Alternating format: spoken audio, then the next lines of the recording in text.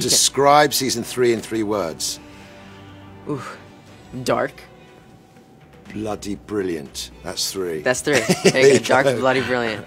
Oh yeah, right. So can you give us any hints on season three? What's going to happen in season three? Of course I can. I mean, with the show, with Gotham City in general, it's in a place of total mayhem with a complete lack of order and authority, m- largely due to the fact that a busload of monsters have been sent aimlessly uh, to the streets of Gotham with the sole purpose of wreaking havoc. Um, and so there is a total there's not Gotham is not in a good place. Let's just leave it at that. And specifically with Bruce and Alfred, uh, we take we, we, we pick up six months after season two left off with season Yeah. three, and uh, Bruce and Alfred have been in Switzerland, uh, Skiing. s- always skiing, and um, they come back for a speci- very specific purpose, uh, having to do with a major bad guy of season three.